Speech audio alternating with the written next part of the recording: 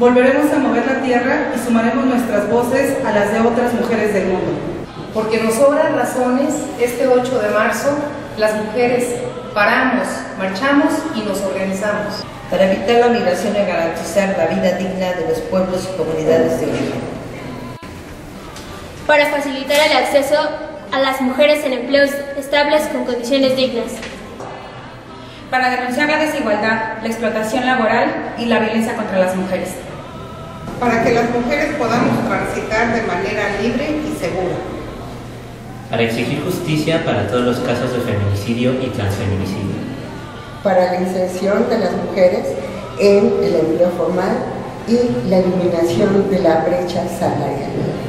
Para decir ya basta de criminalizar nuestros cuerpos y decisiones. Exigimos aborto legal, seguro y gratuito. Para luchar contra el hostigamiento y persecución a las mujeres. Para erradicar todas las formas de explotación en los centros de trabajo. Para pronunciarnos contra todo tipo de violencia hacia las mujeres. Para exigir un alto a la prostitución forzada y la trata de mujeres y niñas con fines de explotación sexual. Paremos para denunciar que no existen procedimientos eficaces contra la violencia que las mujeres vivimos en los centros de trabajo. Para exigir que se erradique la violencia política en contra de las mujeres. Para reconocer y respetar la diversidad de todas las mujeres.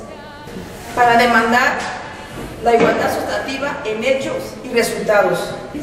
Para exigir que el Estado asuma la responsabilidad del trabajo del cuidado de las personas para que los derechos de las mujeres afrodescendientes e indígenas sean reconocidos y respetados hogar paramos para que se respeten nuestros derechos humanos laborales y por eso nos unimos a la marcha de las mujeres el 8 de marzo.